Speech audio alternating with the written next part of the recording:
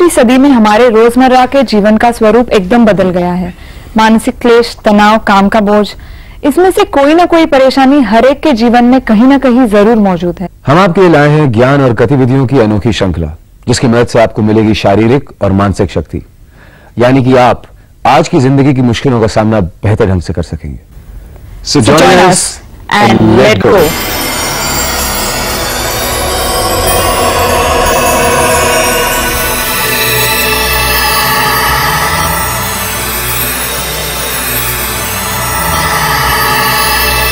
ये योग की श्रृंखला हमने माननीय योगाचार्य श्री अवनीश तिवारी जी के मार्गदर्शन से तैयार की है। योगाचार्य तिवारी जी पिछले 40 वर्षों से योगाभ्यास और उसके फायदों पर अनुशोधन करते आए हैं। योगाचार्य तिवारी जी सारे भारत में लगातार योग शिविर आयोजित करते आए हैं, जिनके ज़रिए सैकड़ों लोगों को योग का लाभ प्राप्त हुआ है। तो आइए उनके साथ उनके अनेक भक्तों में शामिल होकर शुरू करते हैं अपना सफ़र, संपूर्ण स्वास्थ्य की ओर, योग के साथ।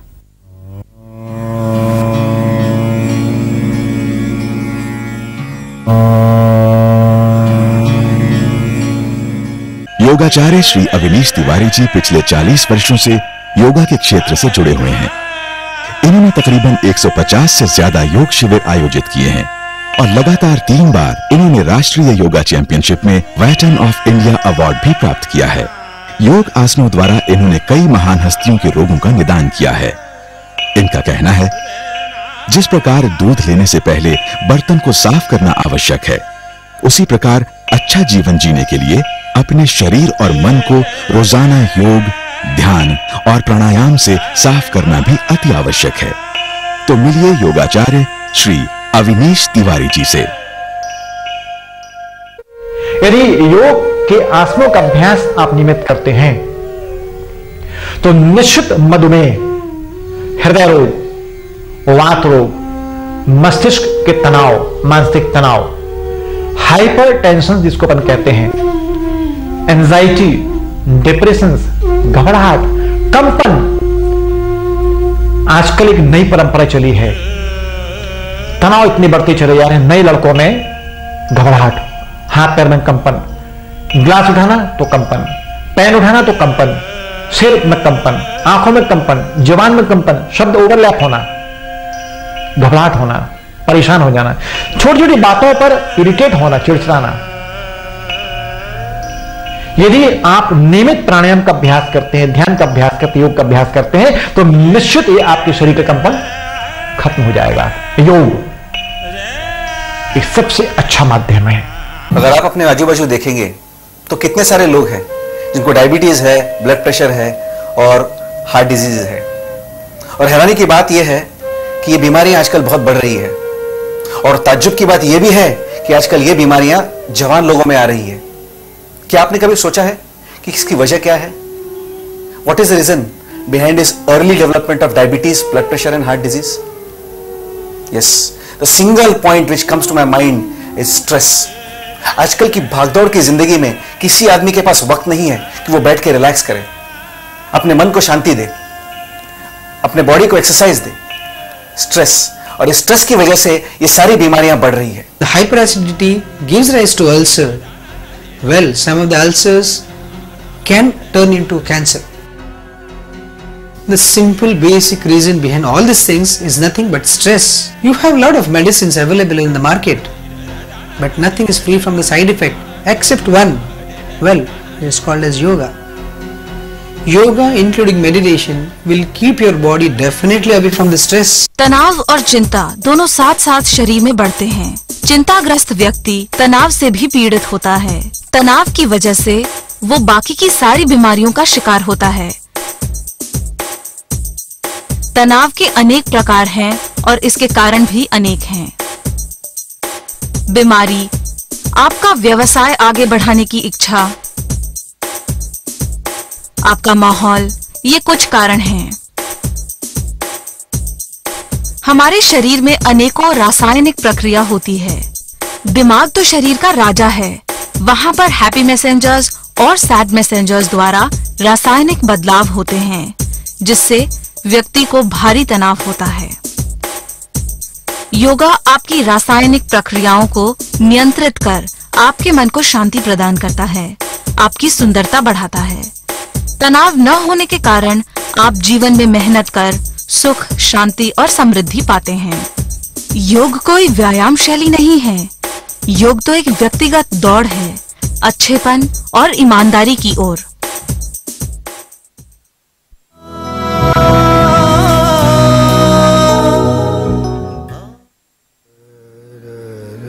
शव आसन। यह महसूस करें कि पैरों के पंजों से लेकर सिर तक की संपूर्ण आकृति गहरे आराम को प्राप्त है। शरीर और मन के तमाम तनाव खत्म हो चुके हैं। एक एक मांसपेशी गहरे आराम को प्राप्त है। हृदय के स्पंदन सामान्य है। श्वसन क्रियाएँ आपकी सामान्य है। जोड़ों के दर्द आपके खत्म हो चुके हैं। शरीर और मन के तमाम तनाव भी शांत हो चुके हैं। ऐ मेरे शरीर और मस्तिष्क, आप गहरे आराम को प्राप्त हैं। आप गहरी शून्यता को प्राप्त हैं।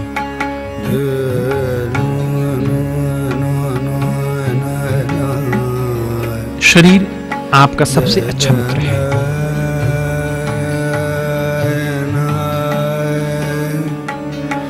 शव आसन में शरीर से आप मैत्री भाव पैदा करें।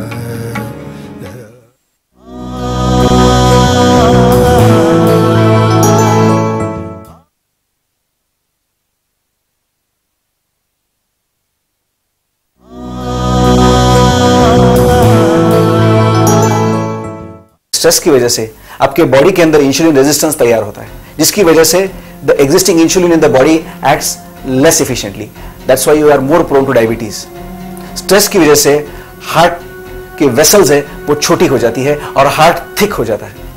That can again predispose you to heart disease और स्ट्रेस की वजह से जो ब्लड होता है दैट बिकम्स हाइपर कोएगुलेबल इसका मतलब है वो ज़्यादा ज़्यादा गाढ़ा हो जाता है और ब्लड क्लॉटिंग इंक्रीज होने की वजह से हार्ट अटैक के चांसेस बढ़ जाते हैं. These are all the ill effects of stress. What can we do to avoid this stress? Yes, there is one very good solution yoga.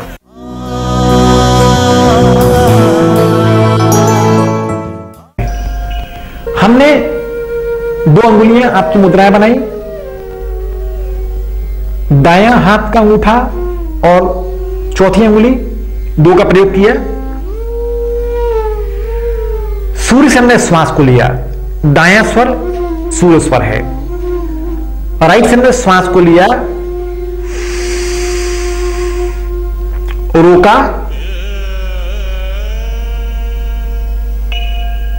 और बाई नाक से श्वास को बाहर निकाल दिया।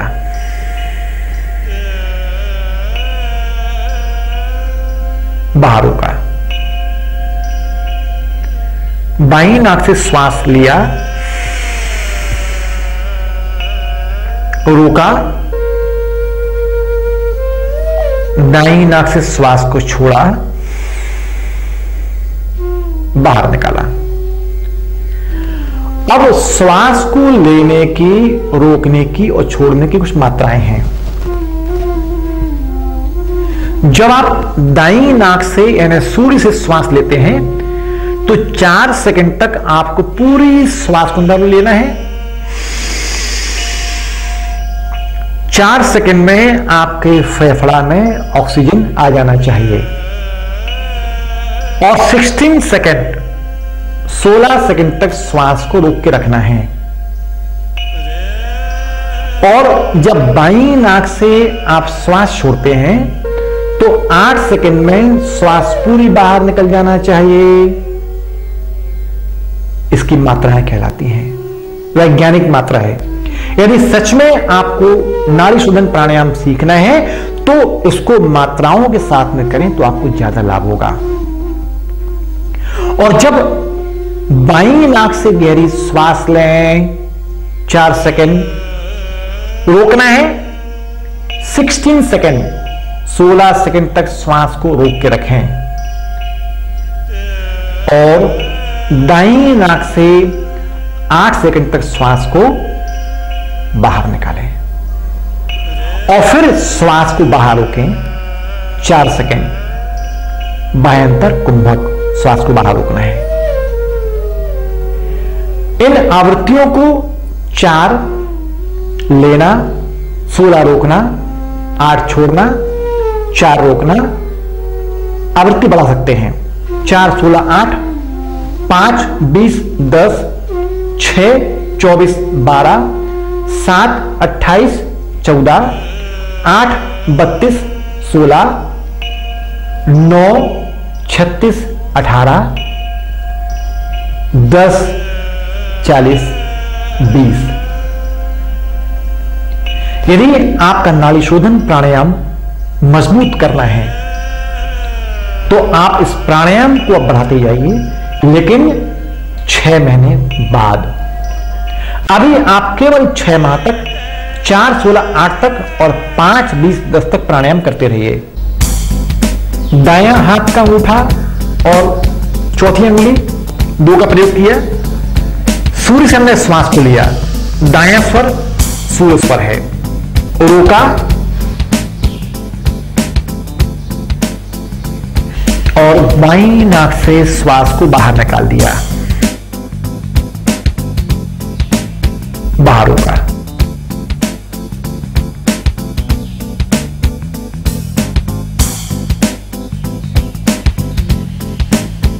बाई नाक से श्वास लिया, रोका।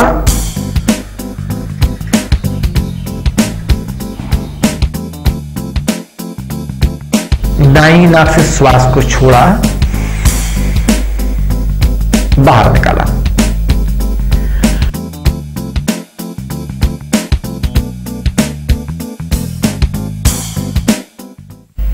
जब आप श्वास लेते हैं तो इस बात को महसूस करें। अनंत ब्रह्मांड की एनर्जी मेरे फेफड़ों में आ रही है।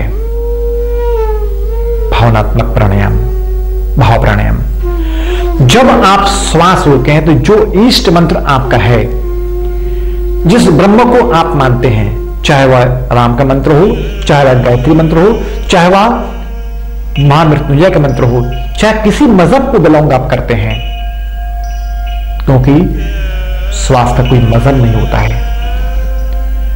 का केवल एक ही मज़हब होता है, एक ही धर्म होता है, कि आपको अच्छा जीवन प्रदान करना, आपको एक शानदार जीवन जीने की कला सिखाना, एक ही धर्म श्वास का है। तो जिस मज़हब को आप बिलोंग करते हैं, और जब भी अंदर आप श्वास को रोकें उस कुंभक के साथ में उस मंत्र का प्रयोग भी आप कर सकते हैं।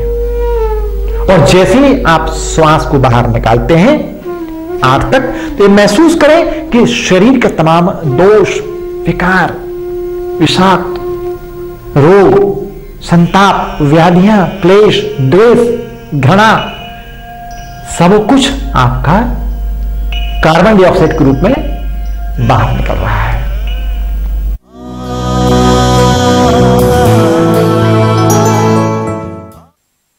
मूर्छा प्राणायाम।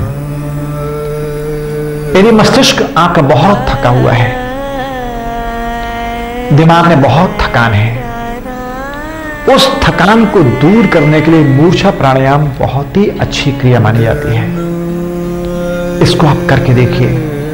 यदि इस क्रिया को आपने 50 बार से लेकर 60 बार तक किया तो मस्तिष्क के तमाम तनाव तो दूर हो ही जाएँगे। साथ ही विचार भी शून्य हो जाएँगे।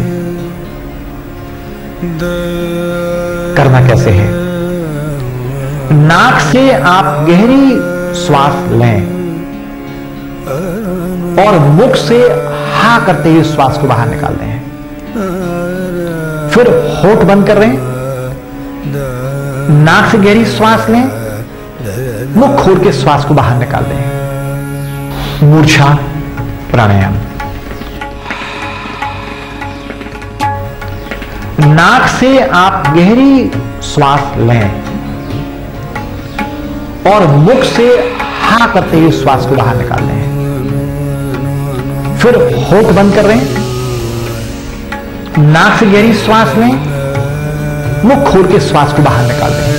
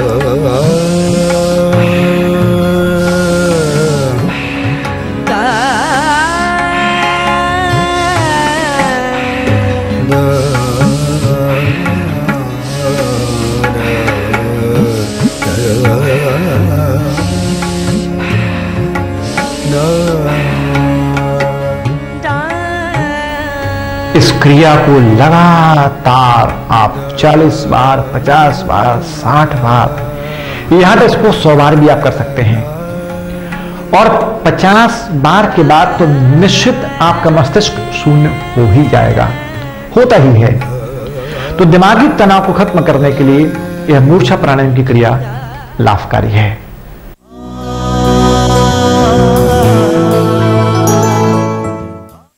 सिंह शेर की आकृति बनाना। जीभ को पूरा बाहर निकालकर और आपको लंबी स्वरों के बीच में इस क्रिया को करना है। आ, इसमें जितना आप ज़ोर से वोकल कॉर्ड को खींचते हैं तो पहली बात आपके थायराइड की प्रॉब्लम्स दूर होंगे। इसोफेगस आपका खुलेगा। चेहरे की 44 पेशियाँ आपकी स्वस्थ होंगी। तनाव उसके दूर होंगे। गला आपका खुलेगा। और सबसे पहली बात, आपके फेफड़ों की ताकत बढ़ेगी। लंग की ताकत को बढ़ाने के लिए क्रिया बहुत लाभकारी है। सिंह, शेर की आकृति बनाना। जीभ को पूरा बाहर निकालकर और आपको लंबी स्वरों के बीच में इस क्रिया को करना है।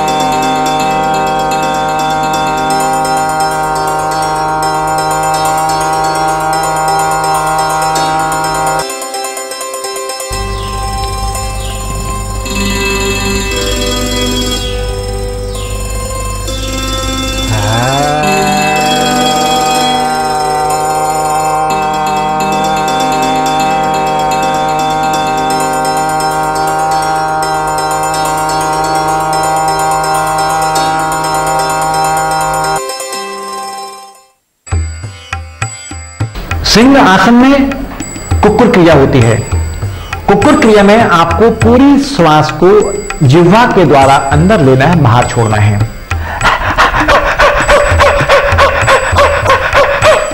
तो इस क्रिया को आप लगातार करते हैं तो करते करते आपके इसोफेगस की बहुत ही शानदार मालिश होती है। स्वर आपका खुलता है, पेट साफ़ होता है, कब्ज आपकी दूर होती है। मानसिक तनाव भी आपके कम होते हैं। बढ़ी हुई गर्मी भी आपकी कम होती है। शीतांश की मात्रा बढ़ती है। सर्दी, खांसी, नजला में इस क्रिया को न करें। कुकुर क्रिया में आपको पूरी श्वास को जिह्वा के द्वारा अंदर लेना है, बाहर छोड़ना है।